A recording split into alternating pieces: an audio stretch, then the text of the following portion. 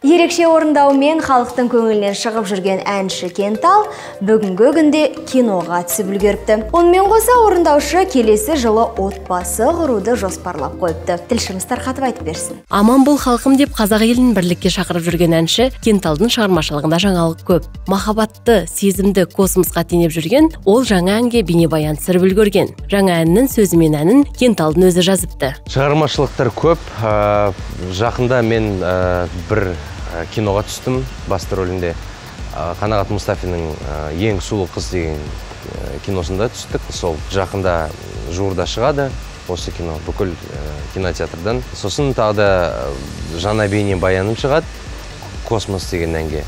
Сөзің әнің өзім жаздым бейнебаяны сюжеттік желісінде қазақстанның халық әртісі меруерт өтекешева бой көрсеткен. Махаббат тақырыбына арналған бұл бейнебаян ертеңнен бастап халыққа жол тартпақ. Жаңа бейнебаянда мен үшін үлкен дәреже ол ә, меруерт өтекешева апамыз енді басты рөлінде ойнады.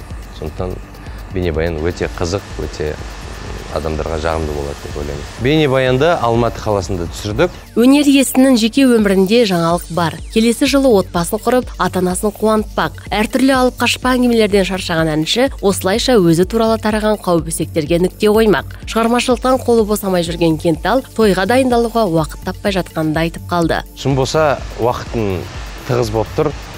Кейбір кезде бір күнде бір сағат қана ұйықтайтын кездеріміз болды. Кино түс- түсірген кезде сосын сол күні мысалы түнде түнгі бірде бастап бір бейнебаянды түсір- түсірілім басталды бейнебаянның.